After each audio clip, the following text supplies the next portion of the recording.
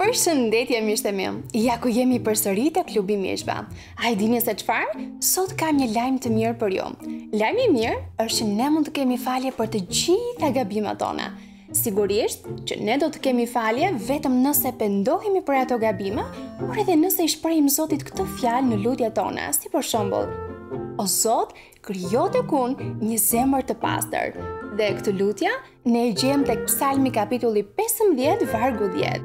Që ju të kuptoni më mirë, Unë kam sjell një objekt si një shembull dhe ky është një objekt shumë i bukur, por që të duket gjithmonë i bukur, unë duhet të kujdesem për të në mënyrë që ta mbaj atë të pastër.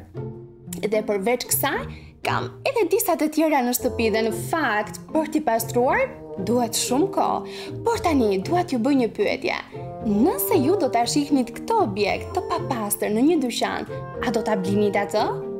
Mendoj që shumica prej nesh nuk do t'i hidhte një vështrim të dytë. Ne do të mendonim se ajo nuk vlen e se është thjesht një mbeturinë, as edhe një gjë më tepër. A e dini, pikërisht kështu jemi dhe ne. Ne i gjykojmë gjërat sipas asaj që shohim nga jashtë, si për shembull, ky objekt nuk duket shumë i bukur, por nëse unë ju them se ai ka një vlerë shumë të madhe, a do të ndryshonit mendje? A mundeni dot të gjeni diçka të bukur te ai? Miqtë e mi, Bibla na thotë se Jezusi nuk shikon pamjen e jashtme të njerëzve. Ai e di vlerën e çdo njeriu, sepse ai pagoi çmimin për gjithsecilin prej nesh kur vdiq në kryq. Dhe kur ai vdiq në kryq, ai vdiq për të pastruar zemrën tonë nga mëkatet tona. Dhe zemra jonë fillon të pastrohet pikërisht kur ne fillojmë të zbatojmë fjalën e tij dhe t'i besojmë atij.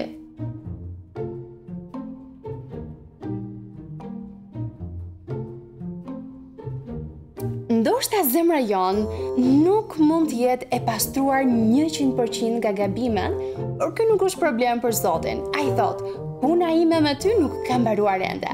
Unë jam duke të pastruar, kështu që një ditë ti do të shkëlqesh. Ne jemi njësoj si kjo copë argjendi me papastërtira, të shkaktuara thjesht nga mjedisi rreth nesh.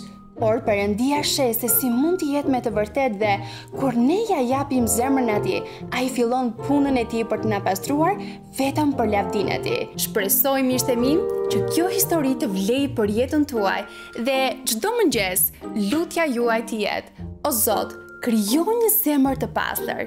Tani, për ta mbyllur, le të lutemi së bashku. I dashur Jezus, unë dua që ti të dëgjosh lutjen time, ashtu siç ti dëgjove lutjen e Davidit kur ai të tha, O Zot krijo një zemër të pastër tek unë. Dhe të njëjtën gjë bëj edhe me mua gjithashtu. Unë lutem në emrin tënd, duke thënë,